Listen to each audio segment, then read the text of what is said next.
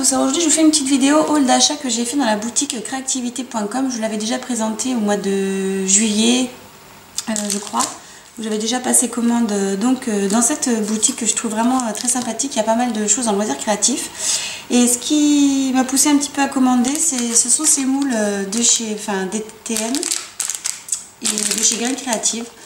Voilà, c'est des moules donc ici en forme euh, de pierres précieuses. Euh, enfin ici c'est rubis, ici c'est plus euh, pierres précieuses que j'avais envie de, de, tester pour essayer de faire quelques réalisations avec. Donc voilà, je vous les montre. Il y a aussi ce moule camé où on peut faire plein de choses, des camés en résine ou des camés en polymère. Donc voilà, j'avais envie de, de tester ces petits moules. J'ai aussi recommandé de la pâte au Yumaru car ça faisait très longtemps que je n'en avais pas utilisé pour euh, faire des moulages et autres créations avec. Donc du coup là j'ai choisi euh, des pains euh, transparents tout simplement. Et là ici ce sont des pains qui sont phosphorescents. Donc je vais essayer aussi de, ben, les tester, enfin faire des, choses avec. Je les avais déjà testés, j'avais déjà fait des vidéos dessus, mais voilà. Euh, ça c'est juste deux petits supports de, de cabochon en verre comme ça transparent où j'ai envie de faire quelques, enfin tester aussi pareil des, réalisations avec mais bon je trouverai des vidéos pour vous montrer. Ça ce sont des emporte-pièces en forme de fleurs aussi que, j'ai commandé euh, parce que ceux à piston ils sont vraiment euh, très intéressants et très résistants et assez sympas. J'en avais donc en laiton en forme ronde. je cherche les carrés mais là j'ai trouvé les, ceux en forme de fleurs. Donc je vais essayer aussi de faire des tutos pour vous montrer comment faire des incrustations de, motifs dans la pâte. Voilà, donc du coup, je me suis commandé ça.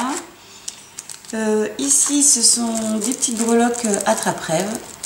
D'habitude, je les fais euh, moi-même, euh, enfin tout ce qui est boucle d'oreille attrape-rêve. Mais là, j'ai trouvé assez sympathique de les commander pour essayer de faire un tuto avec des plumes. j'ai des moules plumes aussi de chez DTM, je crois. Donc voilà pour vous montrer qu'on peut faire des petites boucles d'oreilles euh, rapides, sympathiques avec euh, des petites euh, breloques attrape-rêve. Je les ai trouvées sympathiques donc du coup je les ai commandées.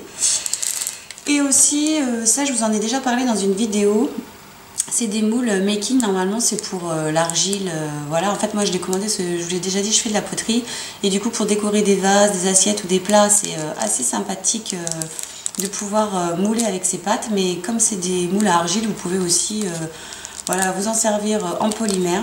Donc comme j'avais envie aussi de customiser euh, des vases ou des choses comme ça euh, en polymère aussi, donc j'ai commandé ce moule-feuille parce que je trouvais qu'il y avait pas mal de, jolies feuilles et plein de jolies réalisations à faire avec. Donc du coup, j'ai commandé aussi ce moule de chez Makins pour ben, voir ce que je peux faire comme création et tutoriel avec. Voilà pour ce petit haul euh, d'achat dans la boutique créativité.com. Je vous mettrai son lien euh, de, sa, boutique euh, en barre d'infos. je l'ai déjà mise aussi, j'avais acheté chez elle les, les, fils Créacord. donc vous, aviez les liens déjà pour celles qui suivent la chaîne. Voilà, donc j'espère que cette petite vidéo haul d'achat vous aura plu. Et puis je vous dis à bientôt pour plein de nouvelles vidéos pour tester toutes ces petites choses. Je vous dis à bientôt. Ciao